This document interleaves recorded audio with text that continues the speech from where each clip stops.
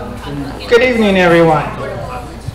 Thank you for taking time out on this gorgeous summer day. I want to encourage everybody to note there are a couple Twitter handles here that if you feel so inclined during the meeting, those are some that you might want to use.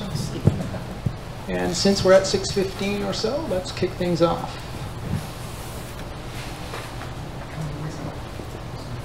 So, agenda for tonight, uh, we're going to have a few quick announcements, very few. Um, we're going to have Sean, a fellow member, come up and do a member conversation piece on some interesting stuff that he's been working on. Our main presentation. Me too. She's not there? No. I'm plugging and plugging it.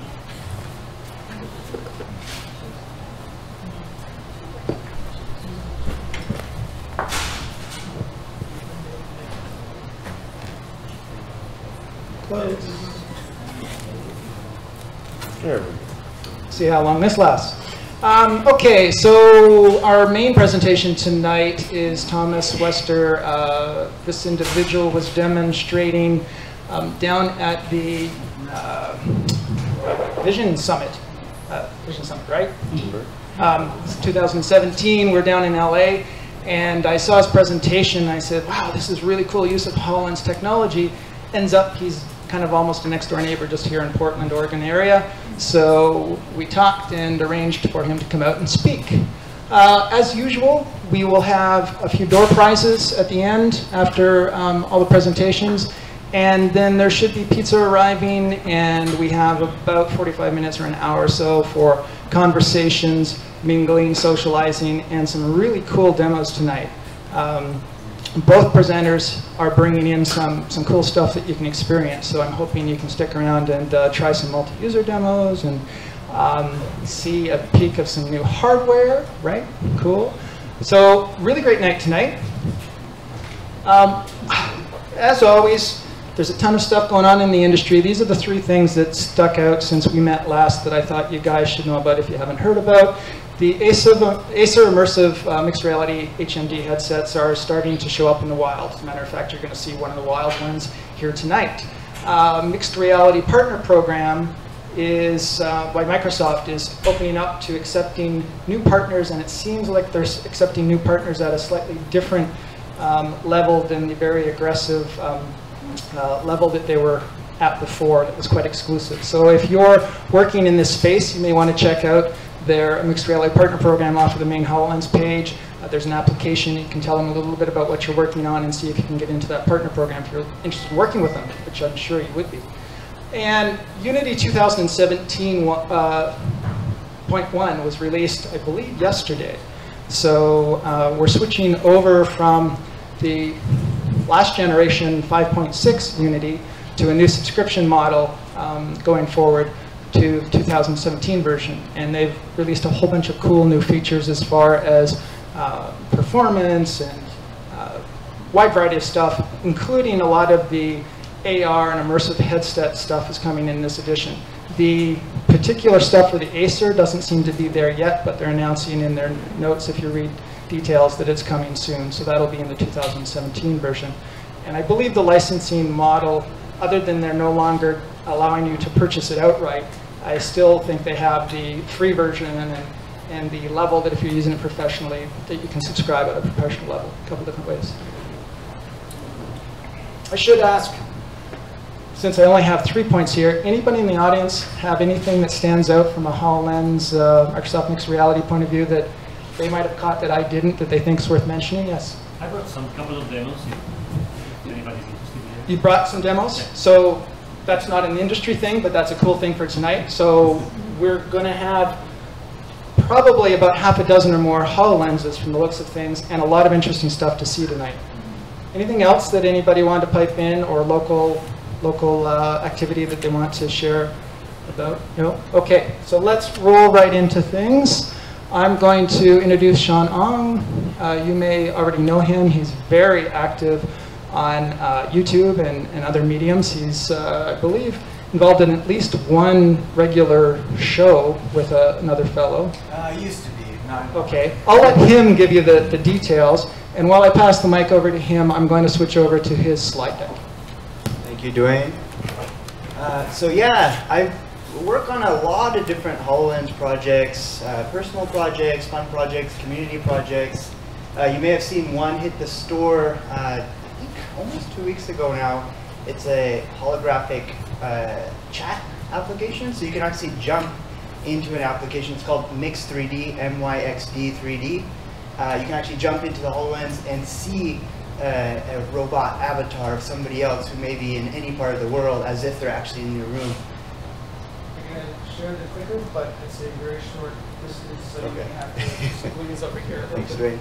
Yeah, so, uh, but one of the projects that I'm super excited about and uh, why I'm here today uh, is this project that uh, is ongoing. Uh, I'm still working on it, but it's for a, a large firm in Dubai.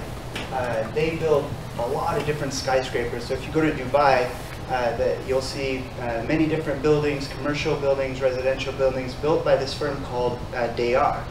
And one of their new buildings that they're building uh, is called the Atria. It's uh, quite a massive building. You'll see some uh, video footage a little bit later. And they wanted to do something a little bit different this time. Uh, typically, they have a sales team that will travel all over the world, Europe, China, you name it, and will show uh, potential buyers of these luxury apartments uh, brochures, videos, pictures, uh, but uh, they wanted to go beyond the, the 2D. You know, they wanted to go beyond even the, the 360, which is really good, and I'll talk about that a little bit here, but kind of a more immersive uh, experience. So they decided to uh, reach out to me and uh, develop this uh, uh, 3D immersive uh, experience, which I'll go into more detail on. So these, uh, what you see here, this is not a HoloLens rendering, uh, if you imagine. Th- These are actual photographs of the apartment itself, and uh, I actually went and took measurements, took pictures to be able to recreate it. Uh, this is a 3D scan, so I actually went to the, the, the building is, is really dangerous. There's construction all over, stuff, you know, dirt flying in your eyes, and just, you know, lots of people going back and forth. And you walk up this really scary stairwell and go all the way down this, you know, electrical wires hanging down. It's really dark, really kind of dystopian and scary. But then you open the door and suddenly you're in this really nice uh, place, you know, and it's kind of like, whoa, what's going on here? uh, but it's, it's a show place. But as you can imagine, it's really hard for them to bring even local people there, you know, people who are wanting to buy luxury apartments. They're not really going to want to walk through all that stuff before seeing this.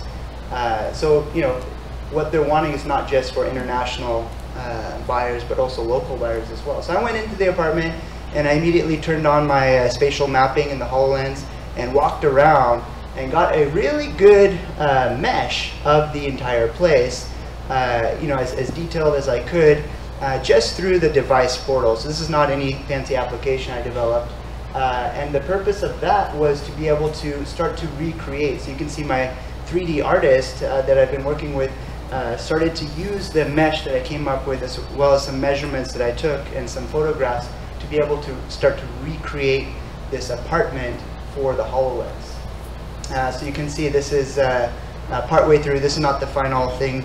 I actually do have the application here with me today, and I'm going to demo it uh, a little bit later. You can see what it looks like in its current state. Uh, so this is the part of the recreated project. Uh, you can see this is with some of the textures on it.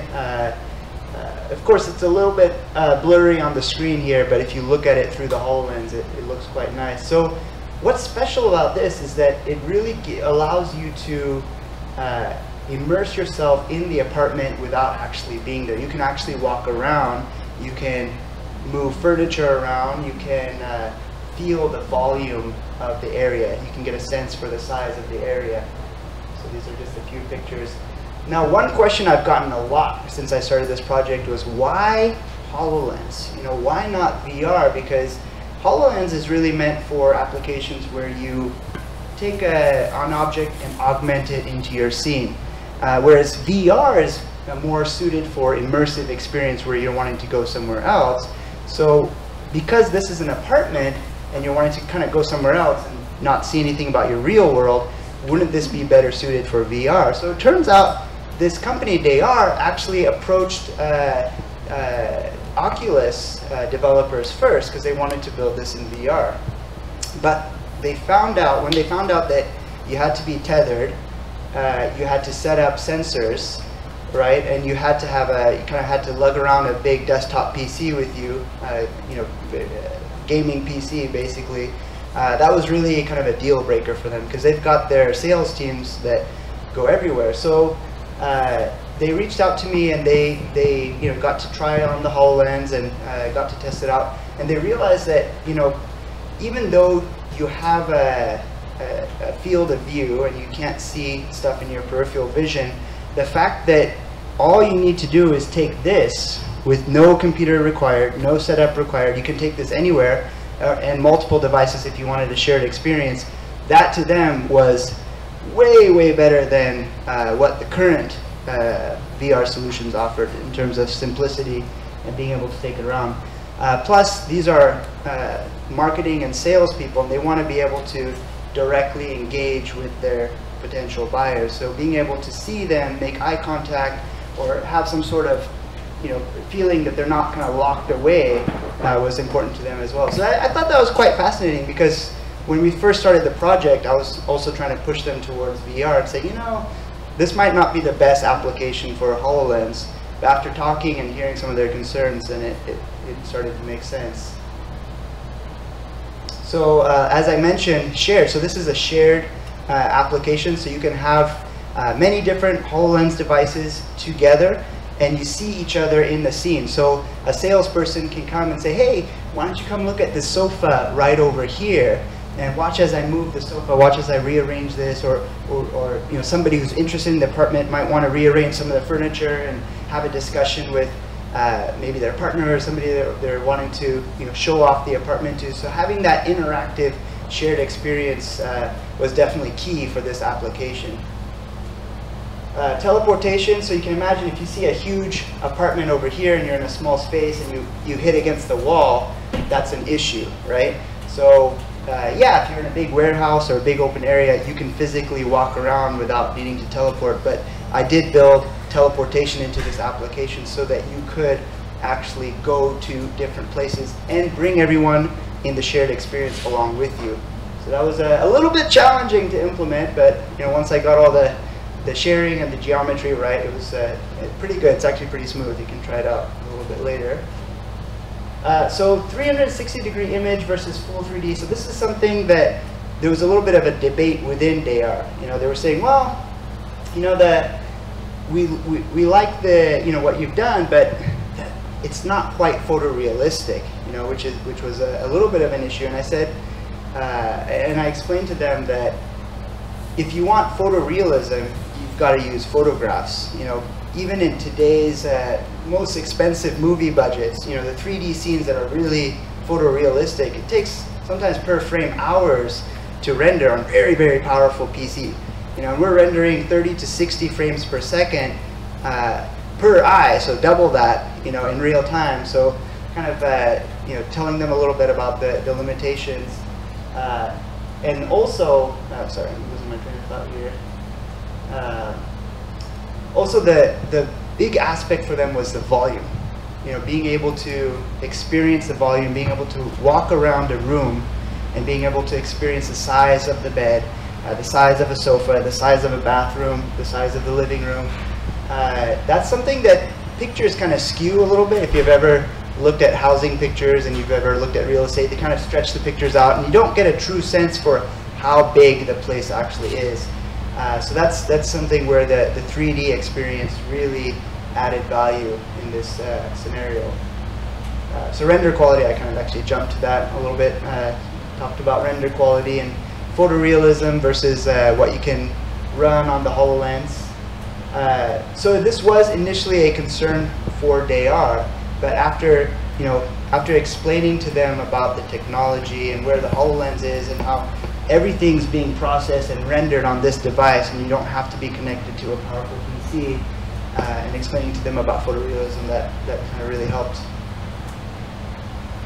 Let's go to the next slide. Marketing. So this was actually pretty big for DAR.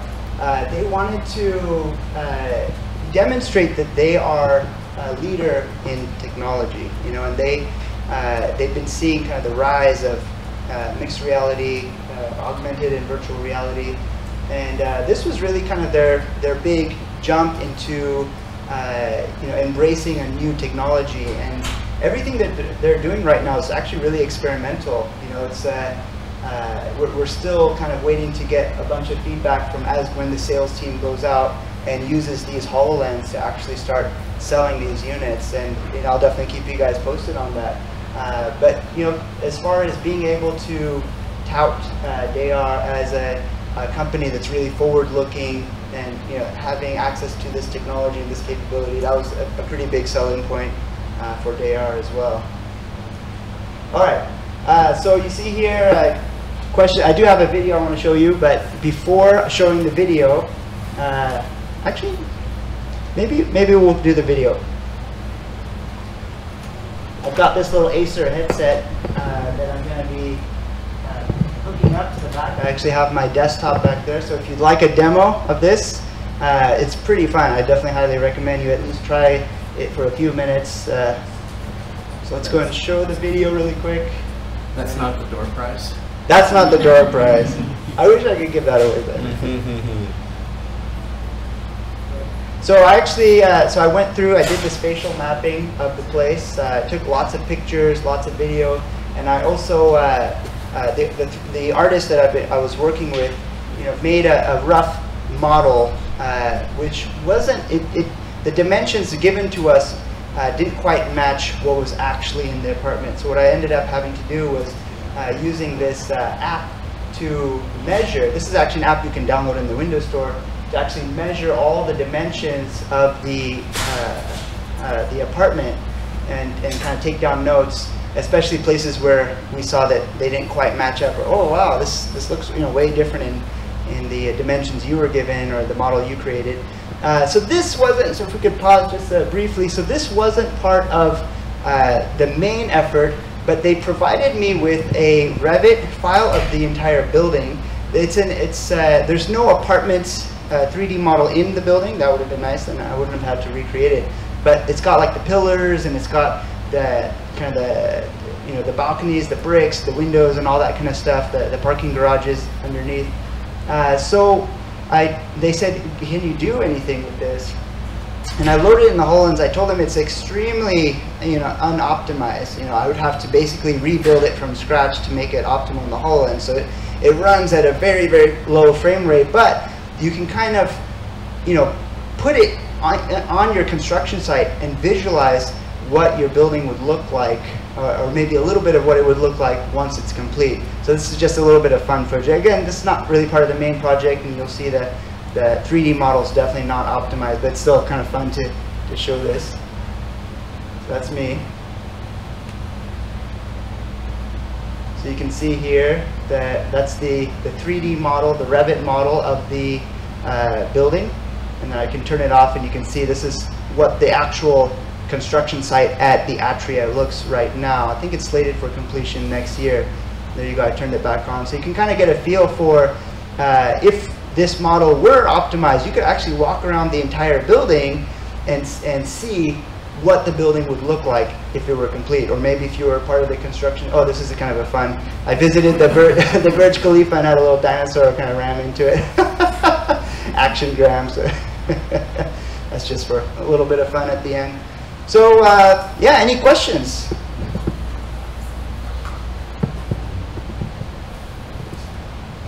No? All right.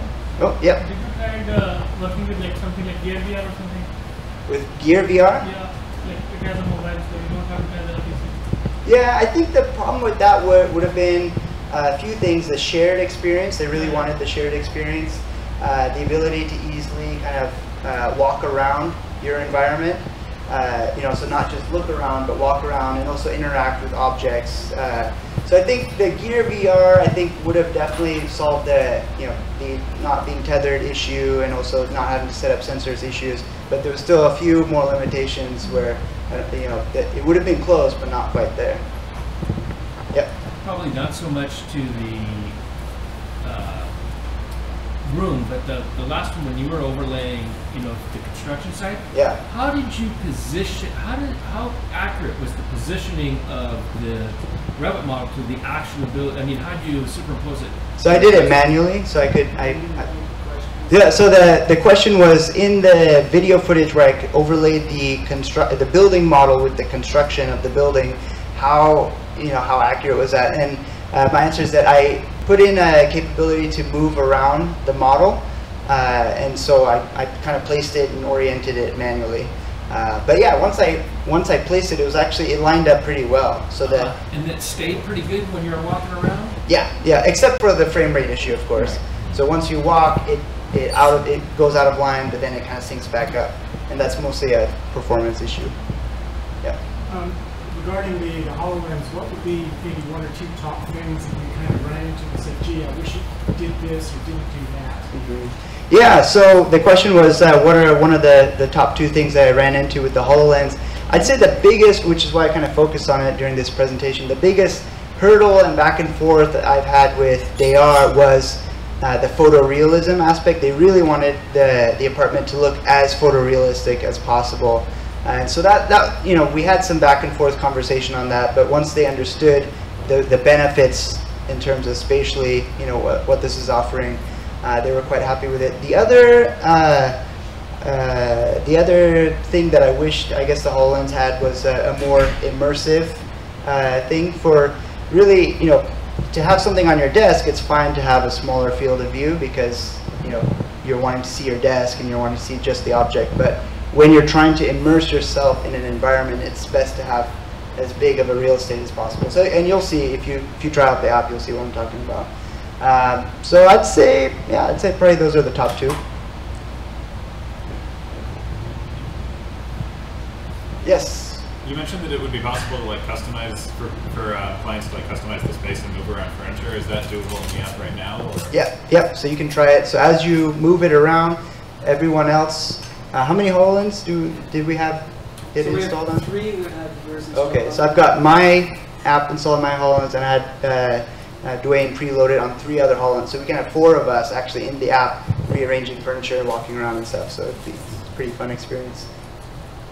Can you change the color of any furniture or do No, interior no. I mean, too? the can yes, but have I developed that you know feature in? No, not quite. that would be relatively easy though, and yeah, but I haven't done that. uh, yes. So is it, is that project live now and are they like product delivered kind of thing or what's the status? of So it? it's it's ongoing. So they're doing field tests right now, and I don't know the results of that yet. But uh, if it's successful, you know, meaning if people respond to it positively, uh, then they're going to expand it to all their other buildings, and they're they actually have a much bigger building right now that they're really looking to expand. This is just one apartment. There's actually several dozen different layouts, and they're wanting to expand it to all of that. So yeah, I'm kind of uh, waiting patiently and you know seeing how that goes.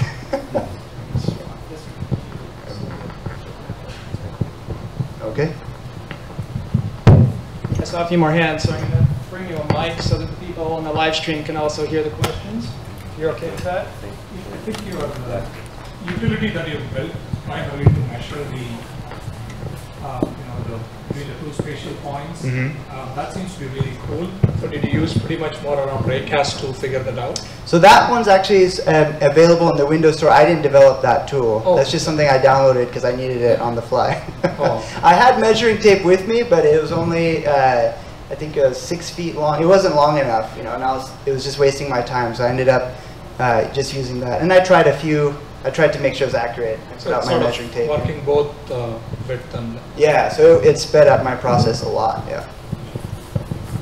So like uh, to move the to move the furniture, do you use like the pinch and zoom like that kind of like use with the regular apps or do you use some custom gesture? Yep, so yep. So just pinch and drag. I just Okay. use the, the hand draggable Uh-huh. script that's included with the Holo toolkit. So nothing fancy. Okay. Uh, and like uh, did you implement it as a UWP or as a Unity app, app like I developed it in Unity. Unity? Yeah. Okay. So the whole model is like uh, a skybox of, of some kind like Uh, so it's just it's just uh, black, If Oh. you look outside, in the pictures, you could see a skybox Skybox, because yeah. I, I took a screenshot from Unity. But in the HoloLens, it's transparent. Okay, So okay. if you So look you out the window, compare. you'll see your environment, yeah. Any other questions? Sure, Thomas, delay Sorry. your, delay your time. bug you, No problem. Um, how did you how did you register once you're in the room, like once you're in the physical apartment and with the pilot, right? As they're going out and, and testing this out and getting feedback, how does that registration work? Do you start from a blank uh, a blank space and they place things in it, or how, how do you kind of get So started? the, so the apartment starts with the default layout with all the furniture placed as you saw it in the image. And then from there, people can move uh, the furniture around. And how do you, like, how do you place it? it- How does it? How do you register that when you boot up the uh, the Unity app? Like, how does it know where to put the, in default, to put the sofa and that type of stuff? Uh, that's a good question. The way I developed it in Unity, uh, I just placed the objects in the scene in Unity. So when you deploy it to the HoloLens, it, it's uh, as you see it in Unity. Now, something that they wanted was to have the layout reset each time you launch the app, so I don't save any of the Right. the locations that they moved. The So, yeah, what I was just trying to think of is something I ran into with HoloLens is it's wherever you're looking, right? Is where it, it sets a zero zero point and then it mm-hmm. just boots up from there. Mm-hmm. So if I'm in a blank space and I want to always have the sofa, register a specific wall, how do you make sure Oh. that that sofa is always to that wall? Or did you just give them the instructions like stand here, Yeah. launch the app? Yeah, whenever you launch the app, you're always in front of this cool teleportation Oh, okay, door. yeah. Okay, right? great, yeah, so you you see your, your real environment, you see this magical door, and you open the door, and all of a sudden you enter into this apartment Okay, in great. Dubai, right? Yeah, that makes sense. Okay, cheers. Thanks. Uh, how does the shared space work? Wait, wait, wait. I think we're, we're almost out of time, maybe. the shared space? Yeah, so like I have tried developing with the HoloLens, but I have never had the chance to have two HoloLens. So Mm-hmm. I never tried with something like the two people will be in the same space. So one people, if one person moves a sofa, other like other person will also see it. So how do you like solve that pr- problem to like real time shared space? Is that something that comes out of the box, or do you have to manually do that? It's, it's included in the Holo Toolkit. oh, okay. And uh, so the, the MYXD app that I talked about at the beginning, that's done using a service called Photon. Okay. There's also UNet. So there's actually a lot of different services uh, Okay, that each has their pros and cons. Uh, for this app, I just used what was out of the box from the Holo Toolkit. Uh-huh. It's pretty challenging to set up if you don't, I mean, getting the, the angles and the, the, the children and the parents right and all that stuff. It can be, uh, if, if you're, if you don't if, have a very strong background in understanding how that all fits together, uh, you can pull your hair out for sure. but once you, once it clicks, then yeah, then it works great. So I'm going to defer further questions to the conversation period later on. You'll be able to grab them personally and, and get all the details. I'm also going to use your question as an interesting segue. Sean used our WinHUGR loaner program to get a multiple device so that he could try it on multiple devices. So we do have a number of units that are available as loaners to trusted WinHUGR members. So um, there's an agreement that you need to sign, but if you are looking to do some development or do something like uh, test a multi-user experience, uh, you can contact me um, through my email uh, afterwards, and we can uh, talk about the ability to lend out a device for a short period of time to do those kinds of tests and uh, to get things into store and those kinds of efforts. So if you're limited to just the emulator or you're limited to a single device, I might be able to help in that way. So on that note, let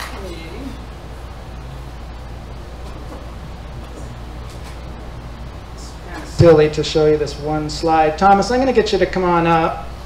Matter of fact, Yeah, so Thomas is going to take the stage. I'm going to put this mic back up here and give you totally the option of whichever one you want to use. Just switch that on.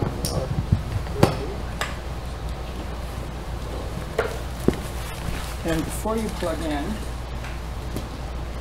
yeah.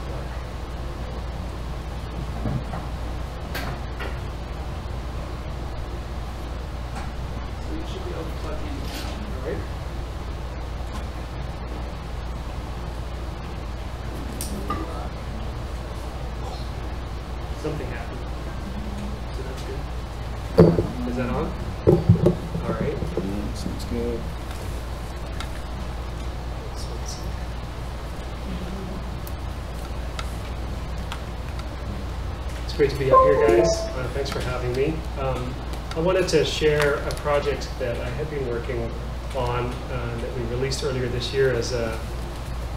Let me get it up here. Oh yeah, right in my face. Let's do it.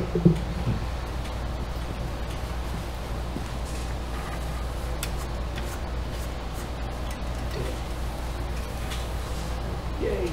All right.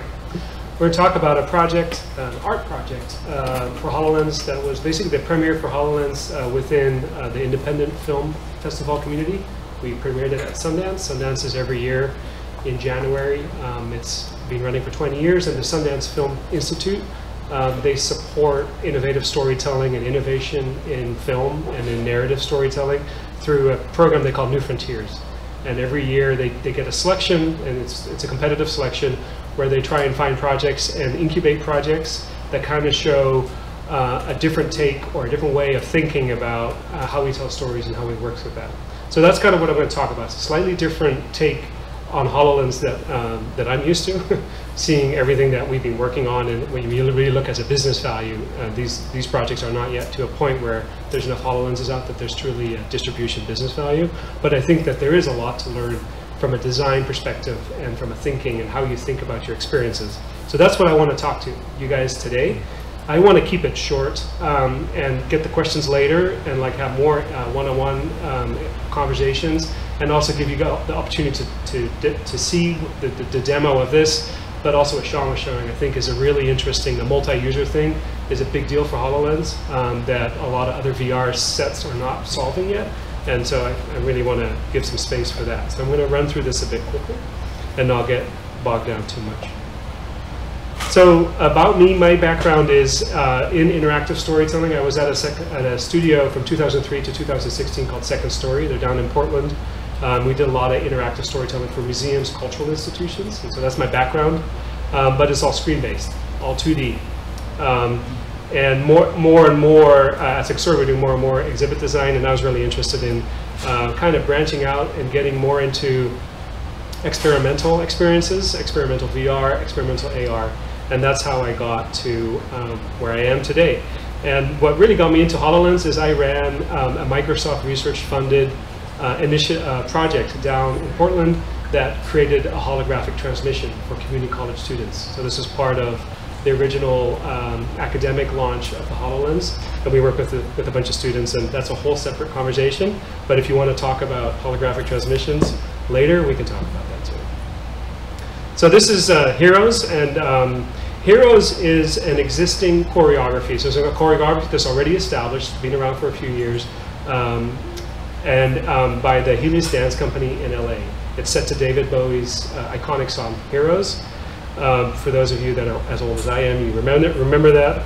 Um, and um, it is it's a intimate duet.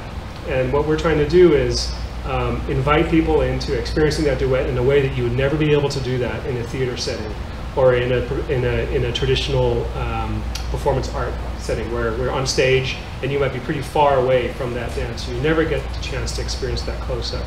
So the question we asked uh, was how can we use uh, the evolution of media and of immersive media to bring the story that is the narrative story that is in dance closer and how can we uh, get people more in touch with their body and who they are and where they are at the point that they're experiencing it.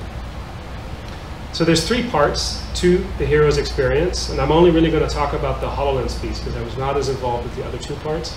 Uh, the first part I don't have a video, I don't have an image of, but the first part is uh, just a 2D film. So just a, um, saying just as if it's less, but a film, 2D.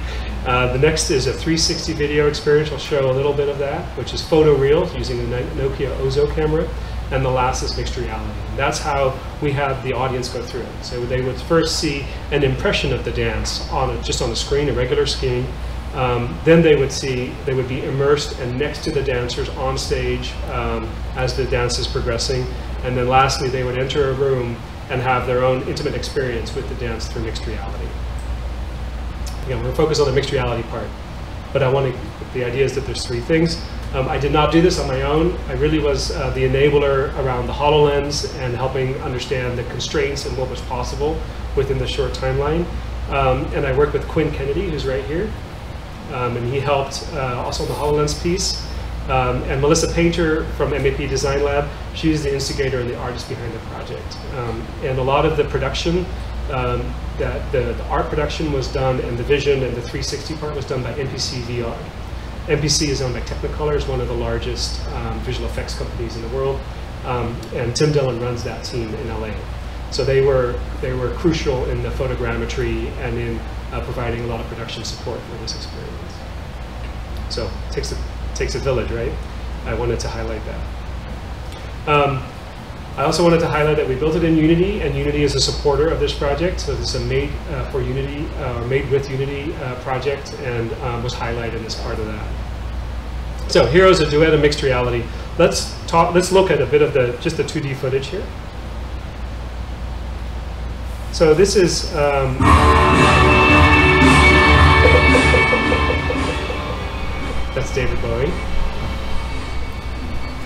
Um, this is a piece of the dance. This is just showing um, the uh, some of the um, the dance rehearsals and trying to rehearse and figure out how to use the stage.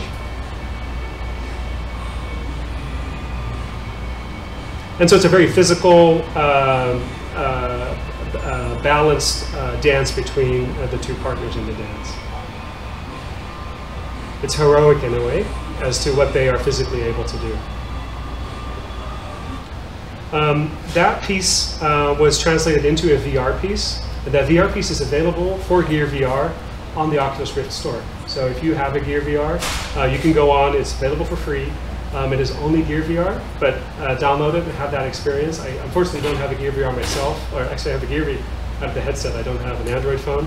Uh, but by all means, give that a go. Um, it is truly an immersive and wonderful experience as to how they worked with the 3D um, the 360 and the 3D elements, and I'm going to show a little bit of the video of that because it's important to understand the 360 to give context for what we did in mixed reality.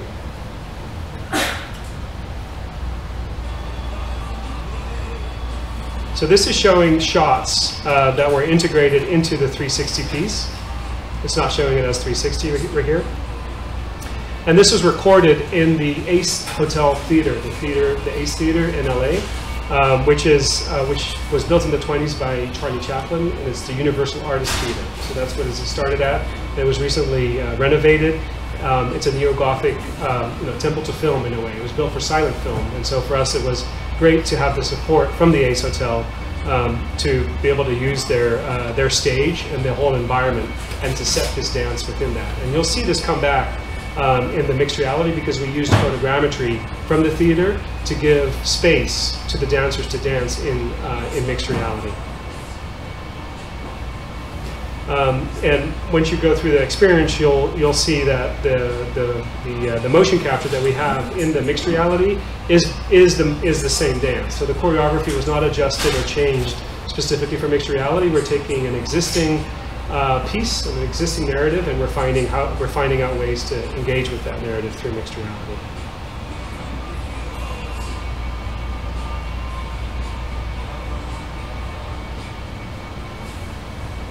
And then the final piece um, was the HoloLens piece, um, mixed reality.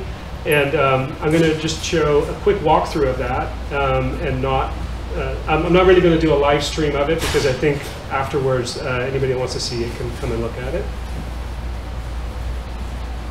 Um, this is a recording of uh, what Dwayne saw at the uh, uh, uh, the Vision conference in in May. And so what you're seeing um, is me walking through the experience, um, and as I walk and get closer to different pieces, and I kind of cut this together, um, I can unlock different dances and I can use commands to grow the dancers um, and to unlock the different experiences. So the whole idea here is to get people to move into the space and to own being present in the space they're in. And digital often removes us from being present and from being where we are. Um, and the, the idea of this project was really to bring it together. Also, as you walk, you leave a trail. So we are creating an opportunity for somebody to feel the presence and to see an effect that they're leaving. So it's not just looking at it, uh, by moving around, you're actually contributing to the dance and to the experience. That's that ribbon you're just seeing, right? That's the, the ribbon you're seeing right there. And then the final, uh, the final piece, um, we went through quite some effort to, to do a palm detection. And as you all know, if anybody's worked with the HoloLens, you can't actually detect palms. You can only detect your finger. And um, we, we really wanted to not have the dancers on your finger just because it didn't make any sense from a storytelling perspective to have dancers dangling on your finger. So we went through an effort of, and I'll try to show some of this, of using an external, uh, of mixing uh, inside out and outside in tracking, or we're call we used to connect si- uh, a network with the HoloLens to basically figure out where your palm was. Um, and then we use that to figure out in the HoloLens where to put the dancer. So the idea is in the end, uh, you'll see that the dancer's on the palm of your hand. So that kind of gives you guys an, an overview of the experience of the, the, the mixed reality experience. So why do we do this? I kind of touched on this earlier, but modern media disregards the body and plays out movement and presence. Uh, we are often, uh, you know, couch potatoes is a, is, is a way to think about that or where that comes from. Um, we're, we're removed, um, we're, we're, we're not moving, we're not engaged, we move less and less. Um, so how can we find ways to connect modern audiences to the here and now, to be present, to be more present? And one way to do that is through movement. Um, if you're in sports or if you're in dance, um, that is really a, a way to create um, to create more of a connection with now. Find new ways for audiences to experience dance. Uh, dance is, is currently um, more of an elite, or it's hard. It's not as accessible as some of the other performance art forms. Um, so how can we? Is there an opportunity to change the way that people experience and think about dance and motion um, and uh, bodies in motion? And dance is all about presence and motion. And so that's kind of where, where we end up with this project. That's kind of the why, the thinking behind this.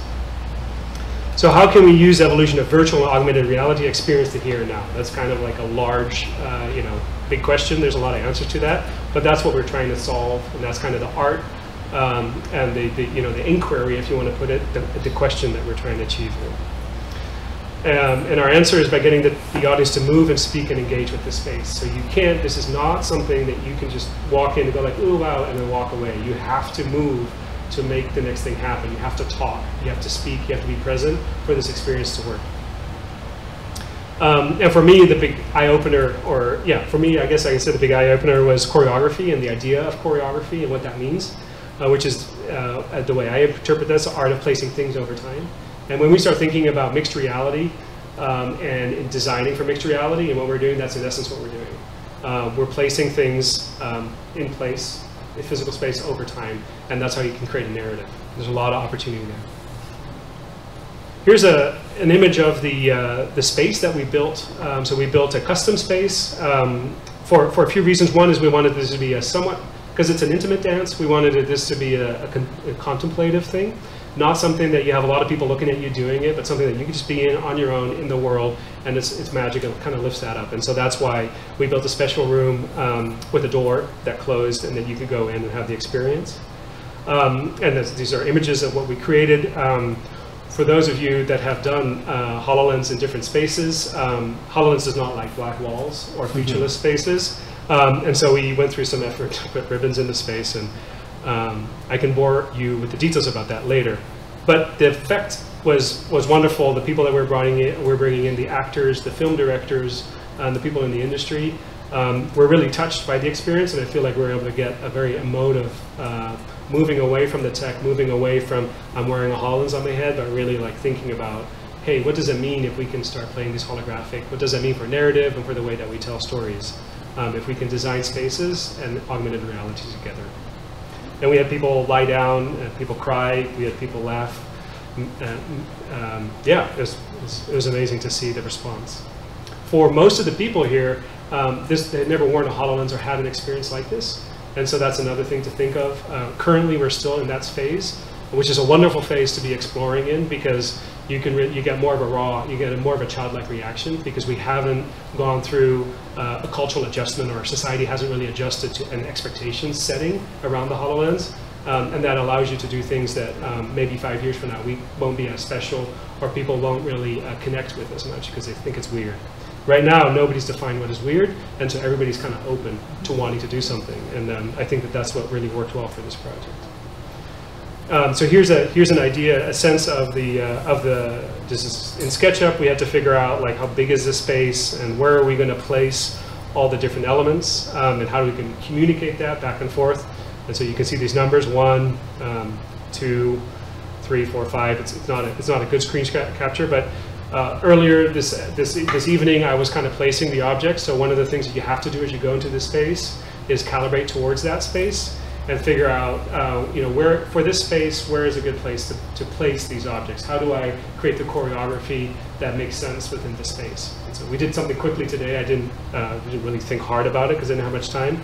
But um, yeah, if you think about that more, and if you have the opportunity to prepare a space for, and you can put furniture in there, and you can uh, start playing with how people walk through it, and you can start changing the night lighting dynamically based on what the HoloLens is doing. You can start imagining a very immersive theatrical experience that is augmented through mixed reality. That's that's where you know I'd like to take it if we could.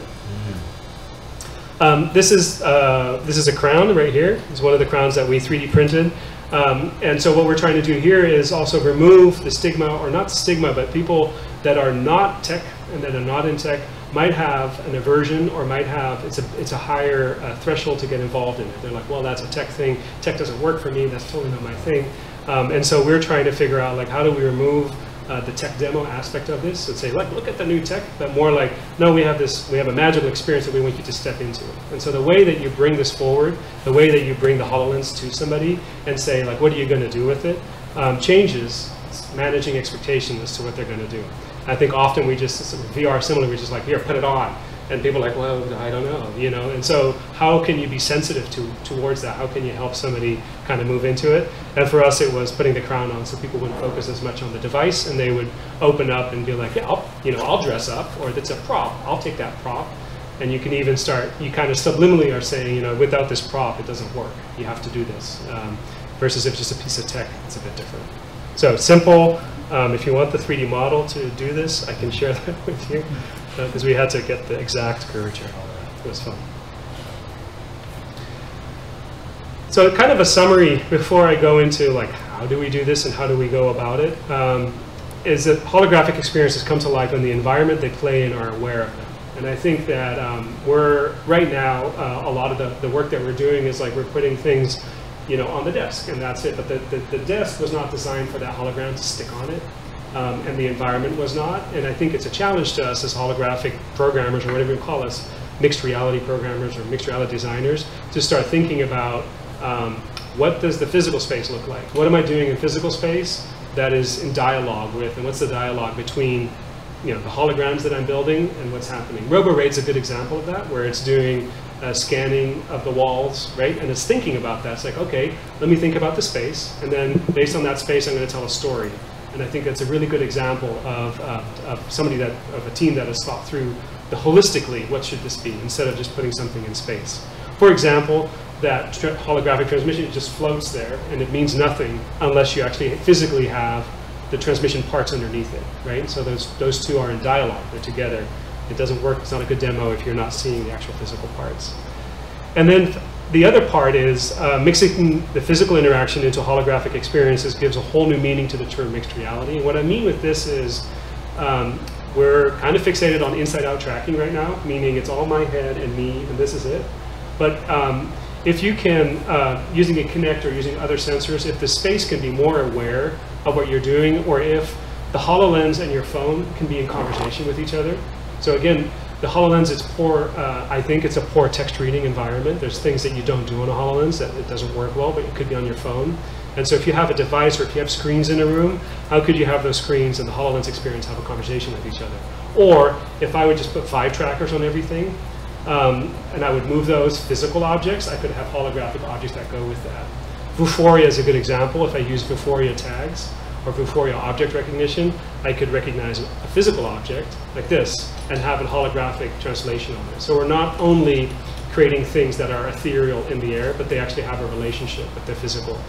And um, that's what we found with the, the whole, like, get the thing to be on your palm, which you're like, really?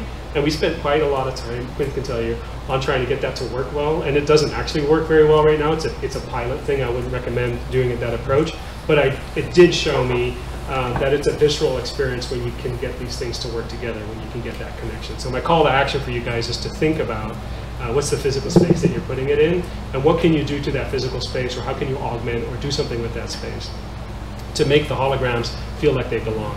And that's how architects and interior designers and uh, industrial designers think about the worlds that and the products that they make, and we can learn from that. We can bring that into our uh, engineering and, and design practice. So the the uh, the challenges were many and varied. Um, the biggest one was budget, which was non-existent, and schedule, which was very short. Um, and so uh, that really informed a lot of uh, the, the choices that we had to make about this. And, um, and I love that question is like, what would you do different or how would you go next? And, and we can talk about that later. Um, another challenge is the limited gesture tracking in HoloLens. Um, it works well um, if you have a moment. It's a threshold, right? You have to take five to 10 minutes to learn how to do that and to become comfortable with that. Um, and that works if you're going to provide a productivity app afterwards. If you're going to give something that's going to be two hours worth of fun, like in RoboRaid or like a lot of hours of fun, then you're like, okay, I'll learn that for five minutes. But if you're in a public setting or what we're doing, and it's a five minute experience in total, having teaching somebody who's never gone through the HoloLens to do this, it's not going to work. It just it breaks the whole project. It breaks the whole narrative. It breaks the magic of it, and it it really focuses on you got tech, and you got to learn how to deal with that tech. So it is which is that's I'm not a critique on my part. It's just it doesn't work within if you're trying to create a narrative experience. Um, there's there's a hard way. It's hard to bring people into that, um, and so that's why we had to move away from that. And that was kind of like our biggest figuring out like how do we not use tracking in hand and stuff like that because we, we can't go through the process of people learning that. And my experience demoing it to many people, because I've demoed on the other side a lot, um, is that a lot of people feel like a failure when it doesn't work. And that's exactly not what you want to give somebody when you're trying to create an experience like this. You're trying to give them something that's uplifting and that's contempt- that, that is emotional and that they can connect with. And failure is typically not uh, what we're looking for in performance art that way. Um, managing the experience for the audience um, is, uh, so if you are on the exhibit floor, I don't know how many of you guys have actually put these out and like demoed them and, and pulled the people through, but it's something you want to think carefully about. If you ever seen Microsoft do it, they have a really slick operation as to how they go about, and they have like 50 HoloLenses and a whole team that kind of works through this, and they really thought about the logistics of how to make this a positive experience for their audience, and then how to facilitate all the things that you need to do with that. So for us, that was a challenge uh, because there's just six of us, and Sundance is for two weeks, so we really had to figure out as to like how could we, what could we do to make this feel better or work better, and, and let take the guesswork out. And uh, we needed to know what the audience was seeing. And so because this was the first experience for a lot of people, they didn't know how to talk about what they, you know, like, so is it going, like, where's it at? Where's the app? Is it doing what it's, but I don't know, I can't see, right? So you can only guess, you kind of like try and listen in on what they're doing, but uh, that's a challenge. Um, and we needed to know the battery state and all these things. So one of the one of the challenges we that we foresaw because we had to run it for two weeks, uh, 10 to 12 hours a day, was like how do we you know, how do we not, uh, how do we know that it's actually doing what it's supposed to be doing? Those were our challenges. Um, so how we built this? Um, we, we built this in three components. So there's three, part, three parts, three separate efforts. there's the HoloLens app, which runs on the HoloLens, which is a Unity application. Um, and it uses primarily uh, the, the, the, really um, it uses uh, uh, Unity networking, so it doesn't use any of the shared HoloLens, but it uses the Uni Unity networking app, uh, API to talk with the Kinect server app. And so the Kinect server and the HoloLens need to be registered to the same space. I'll show that a bit later. Um, and then we had a mobile device management app, which I'll just touch on a little bit. Um, and Microsoft basically uses every HoloLens has a RESTful API that you can introspect to find out what its temperature profile, where it's at with the temperature, where it's at with the battery and what app is running. So kind of like you know how you would remotely manage or look at uh, managing PCs, you can uh, do a lot of that with uh, HoloLenses too, which is a, uh, robust and I uh, uh, was really kind of a lifesaver for us in the in the project. So this is a quick view on Unity. Um, talking about how I built it in Unity is a whole different conversation, but and I will, I will touch on just the general flow of how we got stuff in, and then if you have specifics, I, I have the project here, I can kind of show you how we architected it, though I wouldn't, given the timeline that we had, I wouldn't recommend necessarily doing the way we did it, but I would recommend doing it in Unity. I think Unity really was an enabler for this project. I don't know how else uh, we would have been able to pull it. So let's, let's talk about external tracking and try and do a live demo, um, which is always fun and Quinn's going to help with this one. So what you're seeing here uh, behind the scenes um, is um, is the behind the scenes of the, of the exhibit.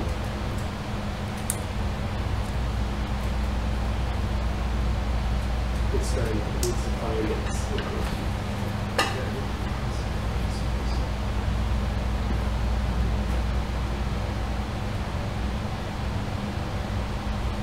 I'm looking at the app. Wait for it.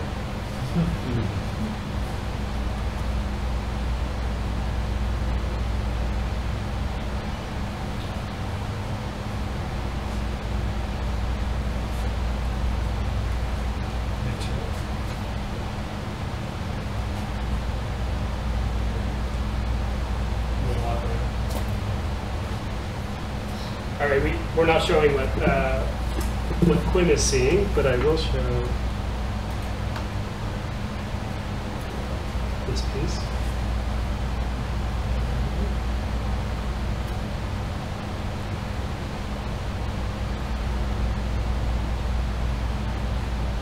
So what are we looking at? Um, we're looking at um, Quinn, if you can walk this way. You guys can see uh, Quinn is over here. Um, that's the HoloLens on his head. And as he moves his head, um, we can track the HoloLens in space. So what we've done is we've built uh, calibration between the Kinect world, the way the Kinect sees the world, and the way the HoloLens uh, sees the world. The way we're doing that is we placed a world anchor where the Kinect is. So by having, by using world anchors and using inverse transforms, that's how you can create uh, these shared worldviews. When you create a shared, uh, to the question earlier, when you create a shared uh, space between multiple HoloLenses, that's what you're doing too. You have to find a ground truth. Everybody needs to know a specific thing, which is a world anchor is a great way to go, um, if, as long as it's a stable world anchor, um, to get going. And then um, what you're seeing, these boxes um, are basically hotspot areas um, that if, uh, um, if you hold your hand out, you can see, and this is not a great visualization, but you can see that little plate that is on uh, on the top. See the little square? Um, that's basically his palm. And so what we'll do is we'll sync that palm through, uh, through the UNET, the Unity Networking API. You can synchronize game objects. It's not like we're sending Kinect data to the HoloLens. All we're doing is we're sending and synchronizing the state of that game object, that little block, to the HoloLens, and then the HoloLens can place the dancers on where that block is. So that's how that uh, works. That's slightly technical, but that's, um, that's how we were able to achieve it. Um, yeah, that's that's how that works. Um, the uh, we had to do multiple Hololens things so that it knew which one to track and all that type of stuff. But yeah, it kind of gives you an idea of once you can start tracking on multiple levels, not just relying on the internal tracking capabilities of the Hololens, but you can combine that with external tracking through Vive Track or through Kinects or through what have you, different uh, computer vision ways of doing that. Um, it kind of starts opening up the type of experiences that you can build. Um, and those experiences will be more natural to us than just only pure the holographic experiences. And that's, the, that's why I'm trying to show you guys this, is to kind of give you guys a, a, mindset as to like, it could be a bit bigger uh, than what we have. And so that's another box. Uh, yeah. You, Quinn.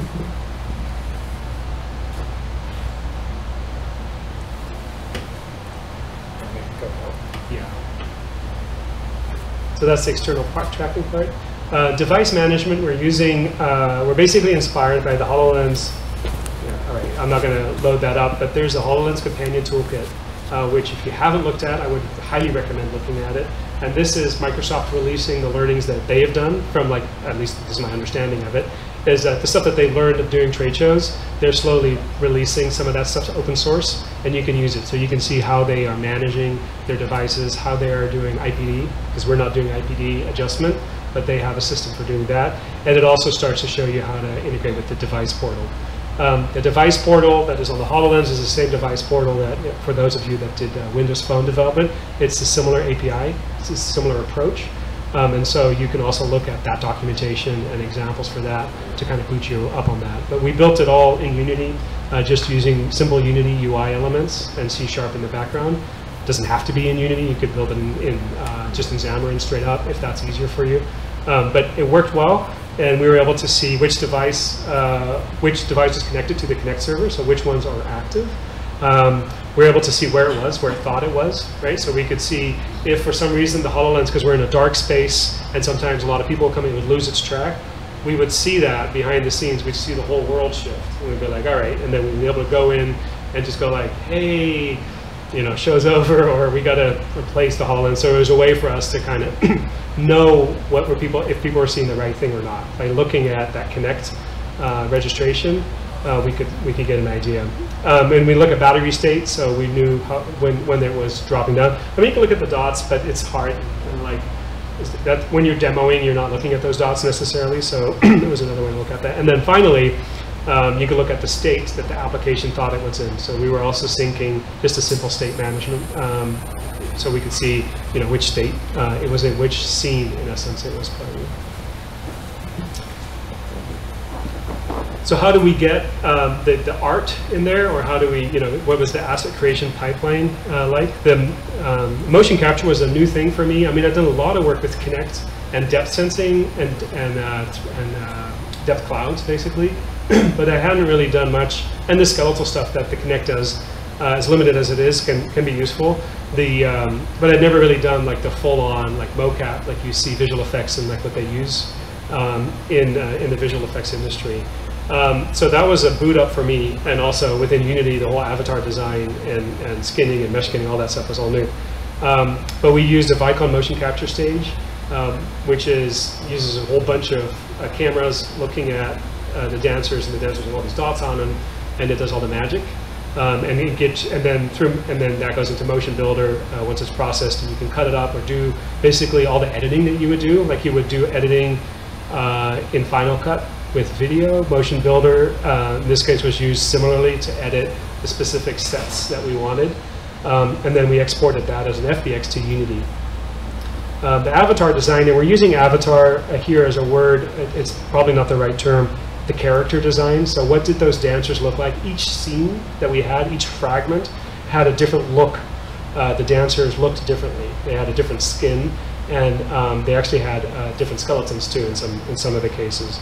Um, so um, we used ZBrush to create the textures uh, to, for some of them. We actually did uh, 3D scans of the dancers too in the later scenes. Um, so we used uh, just a rapid scan like you would with the Kinect. You know, you can scan 3D objects, and then we had to uh, go into. I think we used Maya to re, re topologize that so that it could be worked with a uh, uh, with a with the character and the rig.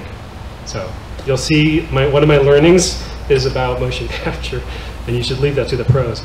Um, game design assets and shaders, uh, we use the Unity particle system a lot, and then ShaderForge uh, to create some of the visuals. Um, uh, and I didn't use that, but that was a great way to bring uh, some design elements in, because my background isn't in design, it's in technology. And finally, the photogrammetry, um, that was done with Photoscan.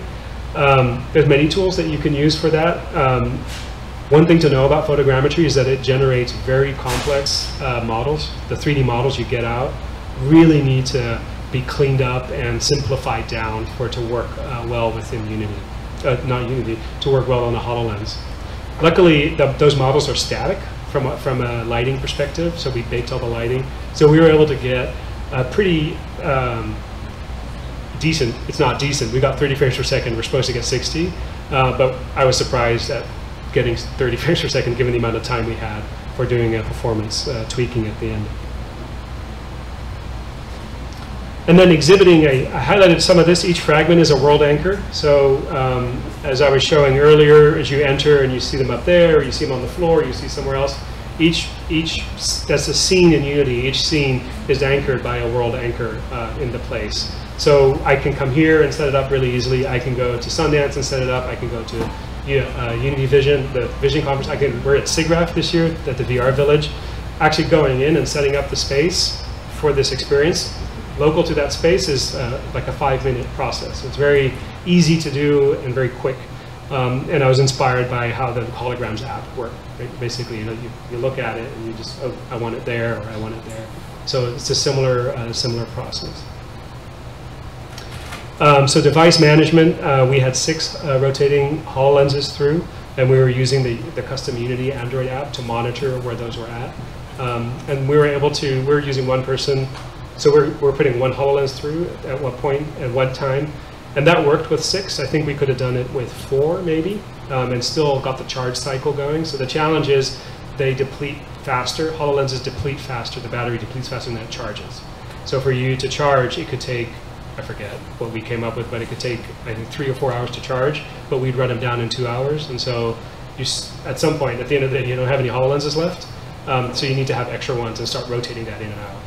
Uh, and our calculation was for two, to have a reliable um, system with two people going through the HoloLens at the same time, you would need, um, uh, you would, you'd need six. That's how we ended up six and three, nine. So that's kind of how we figured it out. And then the spatial design, and I don't know what to say about this. It's, it's a, it's a challenge. Um, uh, uh, I think, I have the impression that the um, mixed reality um, algorithms that we have in the HoloLens and, and how it tracks and hooks onto space, um, and it's basically its spatial design, is optimized for office settings. Wouldn't surprise me if that's the case. And so if you step out of an office setting where there's not as many lines and it's not as cluttered as you could see in an office space, um, it does start to degrade.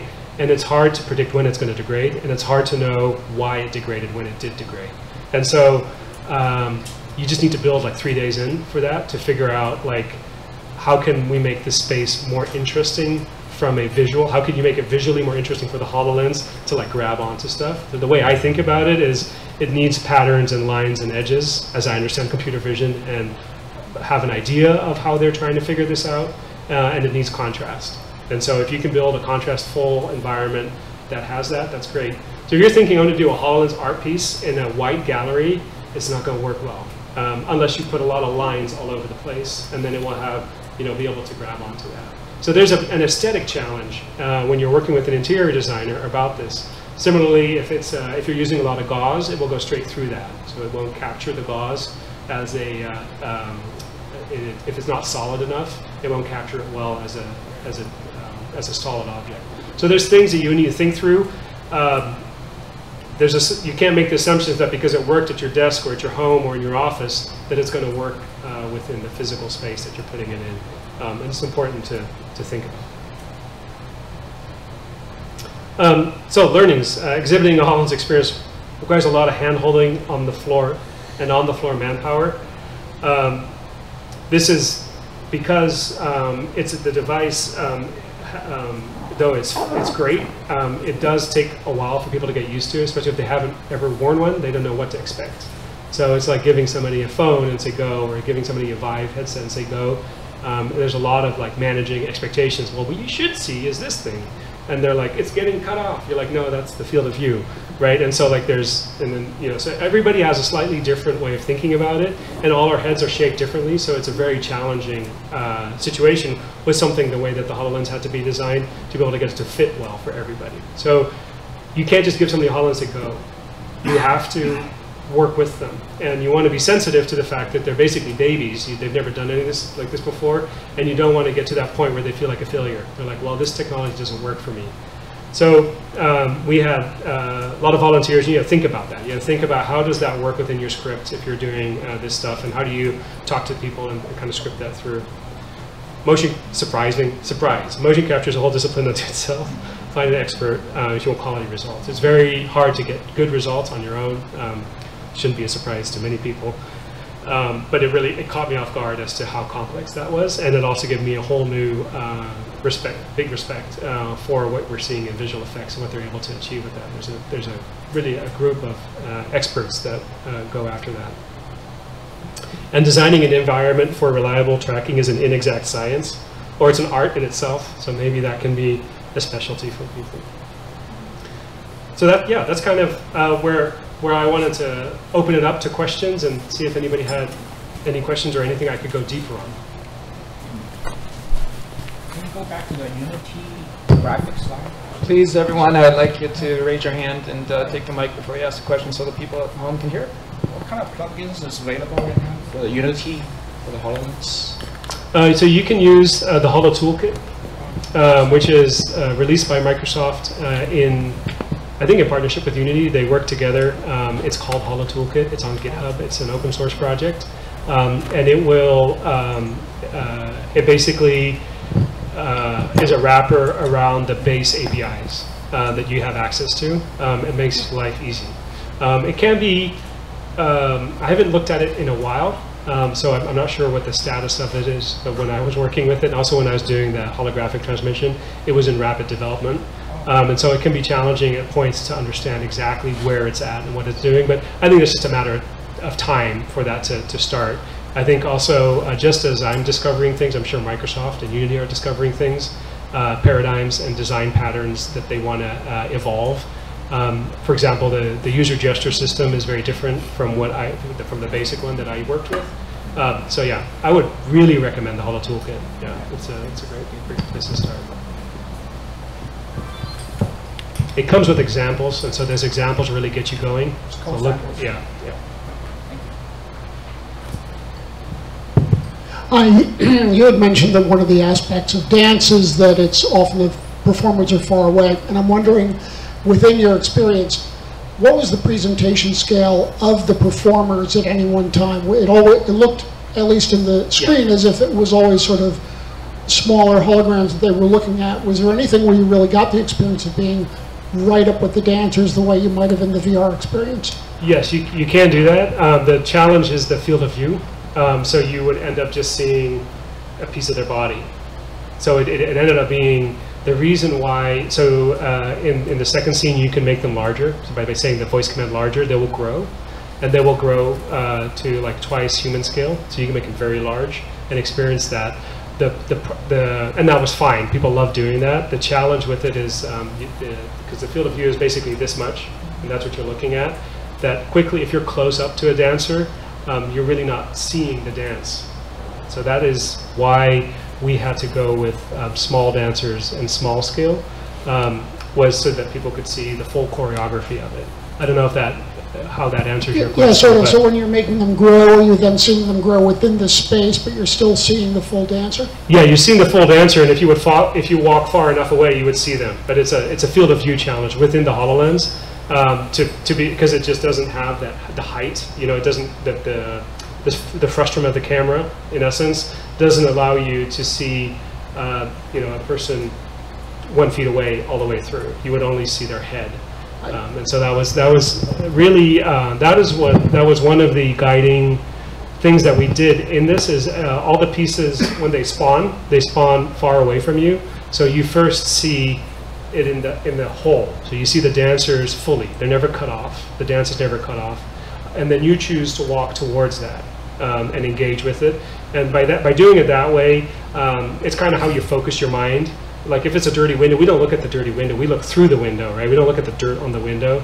It's the same in my experience with the HoloLens is if you create a scene that really highlights that there's a field of view, right? First, the first thing that you see is like, oh, it's cut off. Um, then people will complain about it. But if you create something further away and they don't see the cutoff and they start looking and then they walk towards it, their eye is on the object. Their, their mind's eye is on the object and they're not noticing it getting cut off as much. And so that was the, that was the trick or the design uh, that we used. We're also really trying to get curiosity and get people to lean in and move, kind of like a diorama, uh, the di- diorama would do, or um, like a viewfinder or something. People like looking, you know, like if there's a hole in the wall, somebody look through it. Um, so like trying to get that curiosity and get people to want to play and go through that. And I feel like that's a very effective way to get people to like get a, move away from that field of view and engage in the actual hologram that you're showing. Next question? Anyone?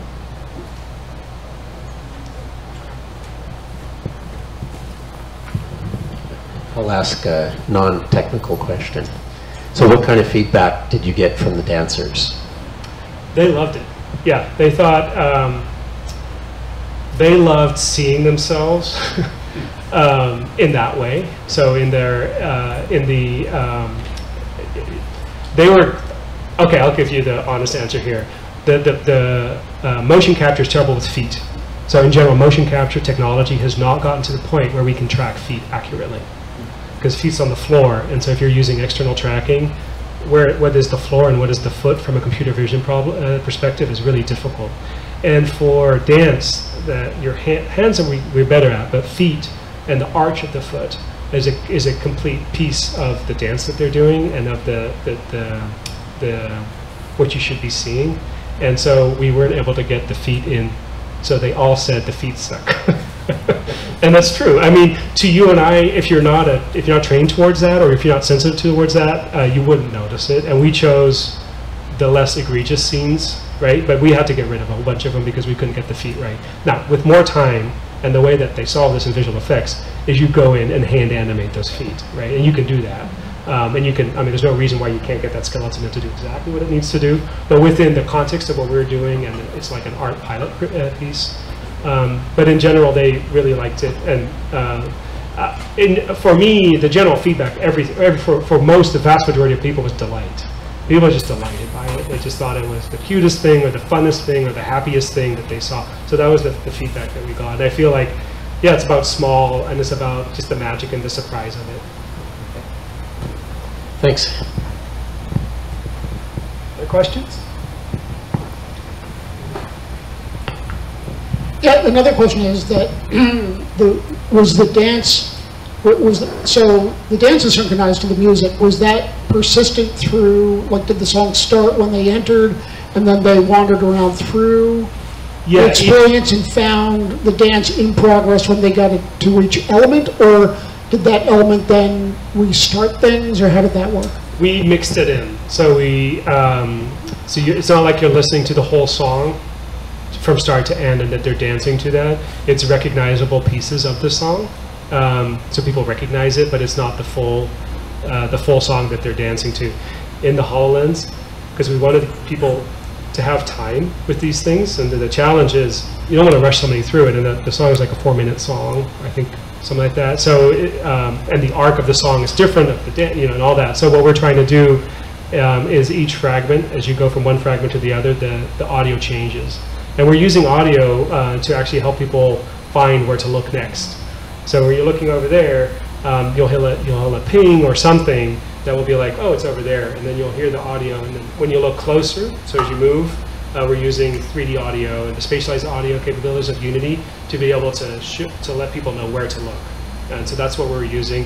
Um, and the song, yeah, the song at point, there's parts, some parts of the dance that don't have, um, that actually don't have uh, David Bowie's song underneath it, and other parts of the fragments um, that have it very obviously. And audio is a big deal. So if you can find a spatialized, somebody that knows how to do audio and spatialized audio, similarly as uh, motion tracking, um, it is a, uh, it is, it can really make a space. It can really give you a sense of, of the size of something and the scale of something. Yeah, um, back to the dancers, and did any of them see see any value in this as kind of a training thing, where they could they see themselves dancing, and then like, gee, I could, I need to improve this, or you know, That's a good. It's a good. Not that didn't come up. I know that. Uh, I know that there's other project dance projects that are thinking about it in this way. Uh, it's actually a help for the choreographer more. Uh, I mean, yeah, it's it both the collaboration, but the choreographers is very helpful for them to be able to block out uh, and just to understand um, how this could be or how this could be different. Uh, and with dancers, uh, you know that really the challenge of HoloLens is the field of view. Um, and so I guess if I'm standing here and you're over there and we're dancing a duet very far away from each other, that might work. Where I could, I could, um, uh, I could practice with somebody that's not there. That's a way to think about it. Uh, but in general, that's not. They did like critiquing. I mean, I think, but I think they're critical people. So, like, I mean, they're professionals, right? So they're going to be critical of their own performance. And so they thought it was really interesting to look at um, little pieces of themselves, and they're like, you know, they just with video you never are never able to look at it from that different angle and I, that, that was I feel like uh, what they really was intriguing to them. Thank you. Uh, one more quickie on the on the uh, David Bowie song. Did you have to pay for that? Do you Yes, have- handsomely. Yeah, You did. yeah, we did. Yeah. sponsors. Yeah, thanks, Tom. Uh, I have to say the sponsor now, Oculus sponsored that. Uh, our Oculus and Unity were the, were the main sponsors and helped with that. Yeah. Questions? Next question?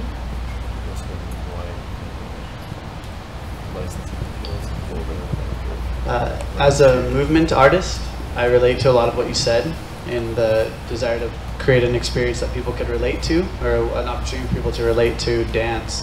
uh, there are so many different movement practices to play with in this environment. It's exciting to see, and I think that um, uh, Butoh is one of these dance movements that happens really slowly, but it's really uh, unique in the movements. And so I'm just excited and appreciate the effort that you put into this to further develop an ability to connect movement artists with those who are interested in feeling the experience, but maybe aren't gifted with the like physical ability to have those experiences. Cool. Yeah, thank you. So just thank you. Yeah, thank you. Any more questions or feedback? Okay. Um, cool. Thank you. Obviously, everyone, uh, both Sean and Thomas and crew will be available for more questions uh, when we break into social time.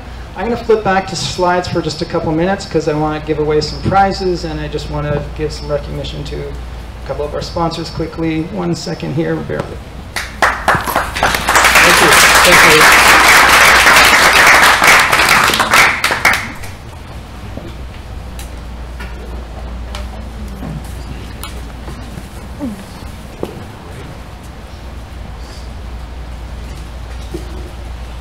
you. Always be charging. that is it.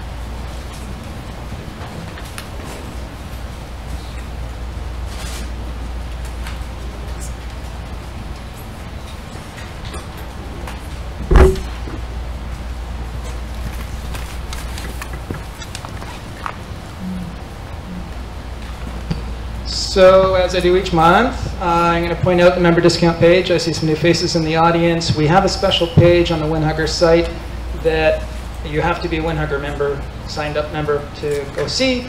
Uh, on there, there are a lot of great discounts from all of our different uh, publishing partners, or most of our publishing partners.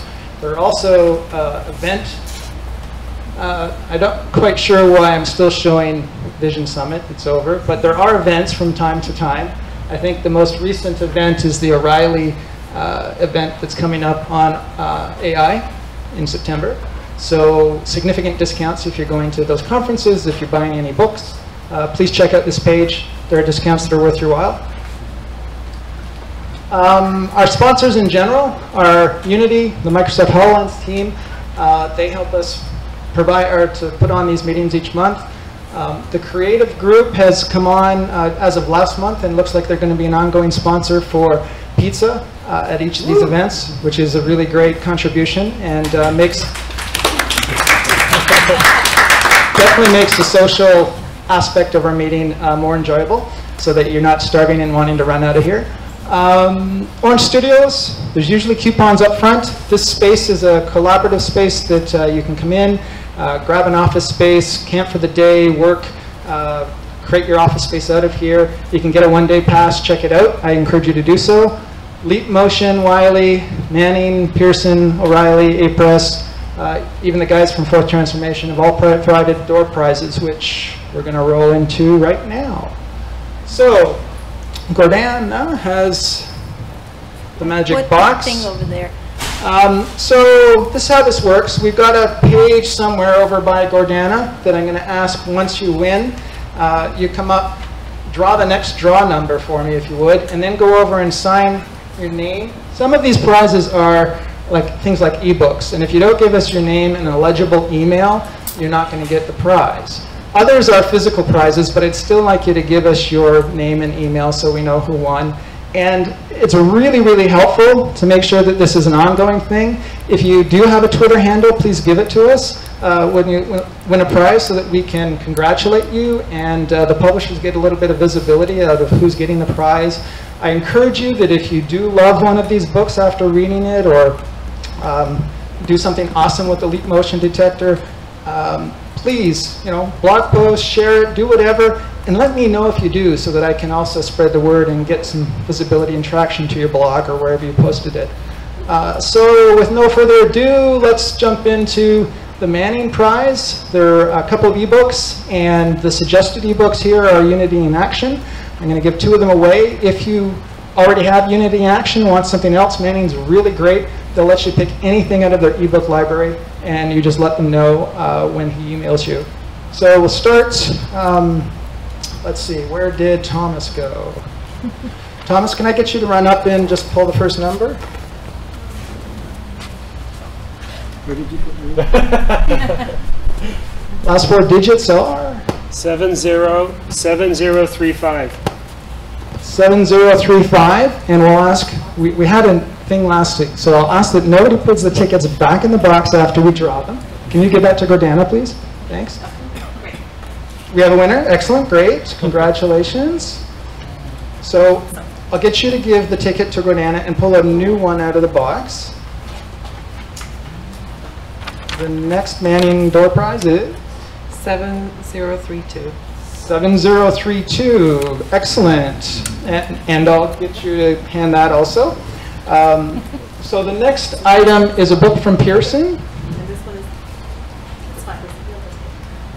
and the four digits are 7036. 7036. I see another hand, excellent. I'll get you to give that to Gordana as well. The Pearson book, if Gordana would hold it up, I believe it's um, Augmented Reality. It's Augmented Reality from Pearson. Gordana, could you hold that a little higher? Thank you. So then the next one is a book from Wiley, sorry. 7013. 7013, this is going great. Wonderful, thank you. Uh, the next book is a copy of The Fourth Transformation by Robert Scoble and Shel Israel. 7012. 7012. Uh, we have a book on AI, I believe, from O'Reilly. 7038. 7038. 7038. Excellent. Joe got that. Joe's coming up.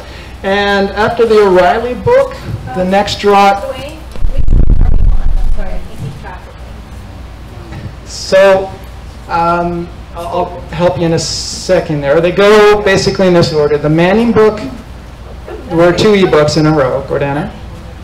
Gordana? Manning book were two ebooks in a row. Then the Pearson was the augmented reality book. Wiley was the SketchUp, I believe. Is there a SketchUp book in the pile? And then the next one was the fourth transformation, which um, fourth transformation went to this gentleman up here. Can you come back and put your name down? And then Joe got the uh, AI book for from O'Reilly. Okay. Or sorry, machine learning. up. It's just that there's Excellent. too many backups. Sorry, a lot of moving parts here. Thanks for bearing with us. Um, so Joe's going to pull a copy of the Apress HoloLens development book, 7040. 7040. Excellent. And that takes us to what I typically call our grand prize. Leap Motion has been really wonderful. They don't have a particular product. I'll get you to pull one more number. Thank you. 702 7029. 7029 wins a Leap Motion detector. So I'll And take the tickets you the book. Um, so the Leap Motion detector also comes with a connector. I, I think tonight is especially important example. The, the demonstration of the Kinect that was done here off of a server is the exact same kind of configuration. And you might even be able to talk to Thomas about how he coded up that. I don't know that he wants to share the code, but he could give you direction, I'm sure. And that same scenario would work for a Leap Motion detector in a HoloLens. Also bear in mind that the immersive devices, which I really want to stress, the, one of the first ones in the wild, Sean has with him in the back here. So if you haven't checked out the Acer headset yet, you can at least see it in person. Um, so check that out while you're here, along with all the other great demos that you're going to see tonight. And thank you very much for all that. I think, yeah, pizza. Cool.